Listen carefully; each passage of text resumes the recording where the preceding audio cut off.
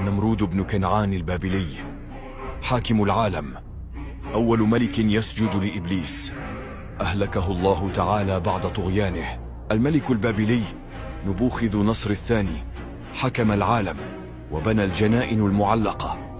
قام بأسر جميع اليهود وجعل من بابل أجمل مدينة في عصره.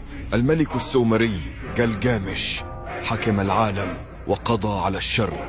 الملك الآشوري سنحاريب ساب اليهود والأسباط العشرة.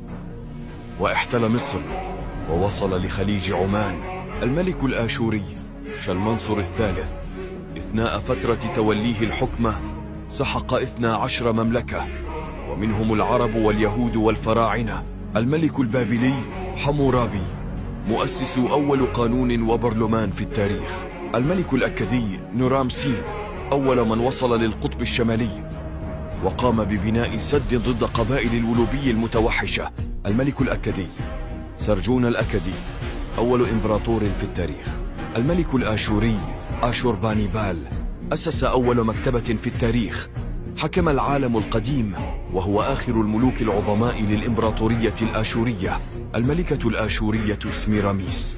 وتعتبر أعظم ملكة وأسطورة للجمال والحكمة لدى الآشوريين. وفي إثناء فترة حكمها قد أخضعت مصر وأجزاء كثيرة من آسيا.